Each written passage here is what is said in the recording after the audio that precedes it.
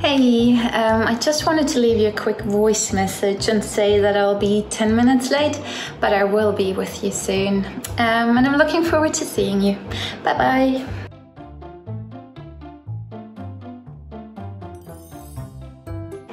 Hey, um, I just wanted to leave you a quick voice message and say that I'll be 10 minutes late, but I will be with you soon. Man, why does my voice on sound recordings always sound so weird and different? There must be an explanation for this, right?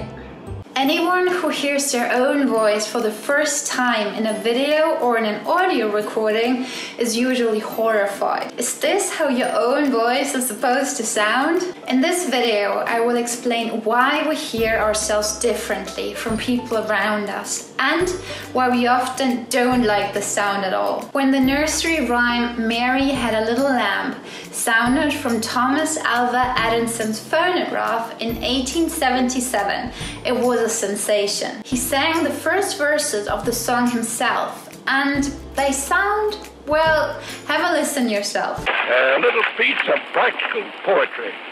Mary had a little lamb, its fleece was white as snow, and everywhere that Mary went, the lamb was sure to go.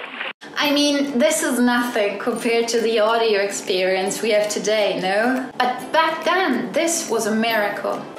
Thomas Alva Edison was the first person ever to be able to record and reproduce the human voice directly, and in this way listen to the sound recording of his own voice. But the inventor was still not really happy with this recording.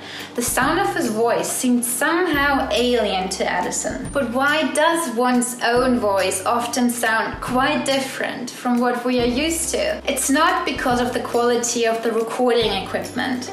Because even if the recording of one's own voice may sound strange, it is actually exactly the voice that the people around you hear. The reason for the difference in perception is that when we speak, we do not hear our own voice exclusively through the external ear canal like the people around us, but also through the inner and middle ear. When we make sounds, sound waves travel through the bones of the skull to the inner ear. The sound travels from the larynx through the skull bones to the eardrum. This process usually makes your own voice sound deeper than it actually is.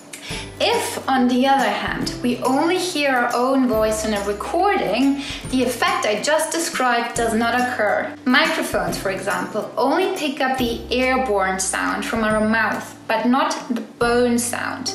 And the vibrations that occur in our own body while speaking do not take place. Instead, we hear our own voice exclusively through the external ear canal.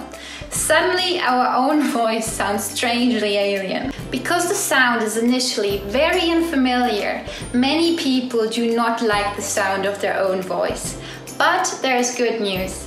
Accepting your own voice can be trained. The more often you listen to your own voice in recordings, the more you get used to it and the more you like it. Hey, um, I just wanted to leave you a quick voice message and say that I'll be 10 minutes late, but I, it's actually not that bad. When Thomas Alva Edison heard his own voice on tape in 1877 and wondered about its strange sound, he did not know this explanation. Instead, he suspected that a flaw in the technology of his phonograph was changing the sounds.